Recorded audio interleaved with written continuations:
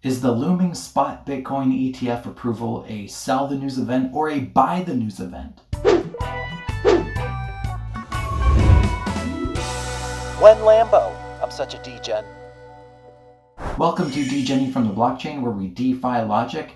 And in this episode, there's a lot of people saying that we're going to have a buy the rumor, sell the news event that we traditionally see in crypto when big things in the space are announced. They come, and then we have a big dump. But then, for the first time, really, I'm hearing a buy the rumors, buy, buy the rumor, buy the news event is going to be happening when the spot Bitcoin ETFs get approved, where it's just going to shoot the price up um, astronomically, and uh, we're not going to have a sell the news event. Personally, I think that we're going to have something like what XRP did when it uh, had a favorable summary judgment where the underlying asset of XRP was ruled not to be a security. I think that, you know, there we saw XRP shoot up to a buck. Um, it had a huge move for a day or two, and then it came right back down roughly to where it was settling out before that uh, that event happened. So I don't think Bitcoin is going to go to new all-time highs after this, but I think you know we're going to have a nice big green candle that day, and then I think we're just going to engulf it the next day, um, or maybe it plays out over a course of a few days. But it's a very high price for Bitcoin when we get up to you know 50k and even 55k. We have to remember that Bitcoin flirts with a trillion dollars in market cap, and right now I just don't see until all that money comes in. I just don't see that Bitcoin making a trillion dollars in its market cap as a floor, right? And that's when we'll have new all time highs that are sustainable. I just don't see that happening soon. But of course, I see it happening over the course of years. I mean, it's just gone up and to the right. We know that. So that's when you just zoom out, zoom way out, and you know that this is going to be a bullish event. But on the day, um, I don't think it's going to be sell the news and if it is how significant is that sell anyway? Let's take a look at a article from crypto quant that is on coindesk. And this is from december 28th so it says here bitcoin etf approval tipped to be sell the news event. And this is again from crypto quant. Bitcoin could fall to as low as 32000 next month if an ETF is approved. And again, this was from December 28th, so that is now this month in January. Now, I mean, just look at that right there. Bitcoin could fall to as low as 32,000 next month. Look, do we really care if Bitcoin falls to 32,000 in January this month? We don't. So that's what I mean when we're talking about a sell the news event. Is it really a sell the news event? Because for a lot of us, we're in this for the long haul and we're in this for you know the next bull market of new all-time highs. And a, a dip down to 32% is no big deal to any of us you know? Because fine let it stay there for a week or two. It's just more accumulation. It's just more accumulation for us. And uh, we know that it's most likely just going to slowly climb back up the Bitcoin have uh, the Bitcoin halving event will happen in roughly April, and then of course the SEC could lose some more cases. Gary Gensler, you know, who knows if he's even going to be there or not, and then we're off to the races, right? So, um, if we read some more here, I just think it's funny that we think Bitcoin going down to thirty-two thousand is catastrophic when just a few months ago in September or August, let's say we were in the 20,000s, you know? And now we're saying 32,000 is a, is a sell the news. I mean, big whoop. Nobody, I mean, I don't care about that. That would just be a buying opportunity. Bitcoin is expected to correct to as low as 32,000 this month, following the potential approval of a spot ETF, according to data provider CryptoQuant. In what is being described as a potential sell the news event, CryptoQuant said in a note to Coindesk that traders' unrealized profits are currently lingering at a level at a level that historically precedes a correction. Okay. I just love how they use the word expected. Bitcoin is not expected to do anything, you know?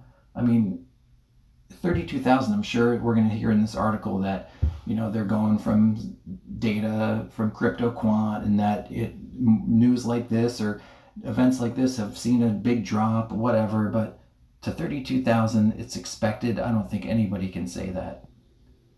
So, quote, sell the news is a well known term in capital markets. It describes how asset prices, leverage, and sentiment run up in the lead up to a bullish event, only for prices to tumble shortly after.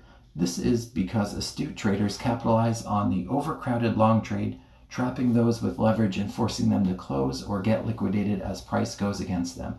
An ETF being approved is perceived as a bullish event as it will open up inflows to Bitcoin from institutions, thus creating consistent buy pressure you could say that that's already happening now, and the only money that's going to come into Bitcoin after the approval is by retail or people FOMOing in. So I don't know. That's what I mean. I, we're going to have a sell the news event probably, but ultimately, if you just zoom out by a few months, really, it's just going to look like a little dip, and people are going to be buying this thing up, and then the halving comes. Yeah, and hopefully we're off to the races. Quote, short-term Bitcoin holders are experiencing high unrealized profit margins of 30%, which historically has preceded price corrections. Red circles in the chart below. We'll take a look. CryptoQuant wrote in a note. Moreover, short-term holders are still spending Bitcoin at a profit, while rallies usually come after short-term losses are realized. And there's your chart. You can pause the video here if you want to take a look at that. I'm just going to move on. CryptoQuant added that Bitcoin price may decline to as low as 32,000, which is the short-term holder realized price. Um, Caprioli Investments said that, quote, conservative portfolio management makes sense in the lead up to the potential approval of a spot ETF. And then on X, we have a post from Toby Cunningham at Sir Crypto Tips from the YouTube channel Crypto Tips. I follow them and watch their daily videos. Uh, it's great information. Follow them and uh, and subscribe to them if you'd like. I find their information useful. But he says, who will be correct? The 1% of Twitter who says the ETF will not be a sell the news event, and that's his stance, or the 99% who will be selling the news. So he actually thinks that the sentiment is still buy the rumor, sell the news, but for me personally, I see a lot of people on YouTube saying, buy the rumor, buy the news, essentially. So I find it interesting that he says that the 99% is the people who are saying selling the news. I'm seeing a lot of people super bullish that it's going to be a buy the news event. So January 1st at 9:34 p.m. is when he posted this poll. But 189 votes so far. Um, and uh, we have 74% saying the 1% saying it's going to be a buy the news. And everyone else or the 99% is at 26% saying that it'll be a sell the news event. And somebody else i subscribe to on youtube is your friend Sommi. That's his youtube channel and you can see him here on x at your friend Sommi i love his takes he is hilarious first of all and he really makes you think with uh, some of his posts and videos that he makes, and I love that about him. But he says, don't forget who told you BlackRock Bitcoin ETF was a Trojan horse from the very start. Don't trust those who say, buy the rumor, buy the news. Don't forget, everyone is still here because they blindly followed mainstream in 2021. That's true. So many people were blindly following other people in 2021 that came into it, me included. And I've learned a lot since then, of course. Um, but yeah, your friend Sommi is saying that this that this should not be a by the rumor, by the news event because we simply don't see that. And again, he just makes you think second of uh, what this market is going to do because we certainly don't know, and that's why I value your friend Sommi. So we have an article showing data that this is probably going to be a sell the news event. We have we have crypto content creators that are on both sides of the fence. And personally for me, I've seen a lot of buy the rumor, buy the news sentiment with this spot Bitcoin ETF approval that's on the horizon.